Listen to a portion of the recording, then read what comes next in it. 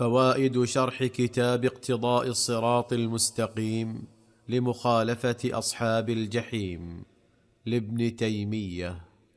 قال المؤلف رحمه الله تعالى فما كان من زي اليهود الذي لم يكن عليه المسلمون إما أن يكون مما يعذبون عليه أو مظنة ذلك أو يكون تركه حسما لمادة ما عذبوا عليه لا سيما إذا لم يتميز ما هو الذي عذبوا عليه من غيره فإنه يكون قد اشتبه المحذور بغيره فيترك الجميع كما أن ما يخبرون به لما اشتبه صدقه بكذبه ترك الجميع.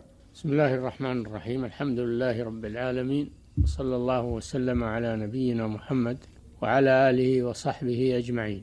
أما بعد فقد سبق أن الشيخ رحمه الله تعرض للدخول على ديار المعذبين أو في ديار المعذبين نعم. إلا ممن كان باكيا.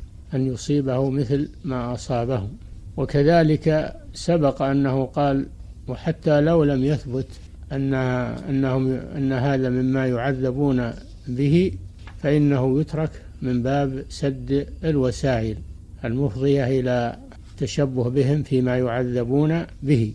وقاعدة سد الذرائع معروفة في في الشريعة. الإسلامية وعليها أدلة سبق أن الشيخ رحمه الله ذكر أمثلة كثيرة منها. نعم. فعلى كل حال ما عليه الكفار لا خير فيه مما هو خاص بهم. أما الأمور المشتركة والمنافع العامة والمصالح العامة فهذه الأخذ بها ليس من التشبه بهم وإنما هو من الأخذ بالشيء النافع الذي أصله للمسلمين. لكن المسلمين قصروا في العمل له وطلبه وهؤلاء جدوا وحصلوه. ليس هذا من باب التشبه بهم.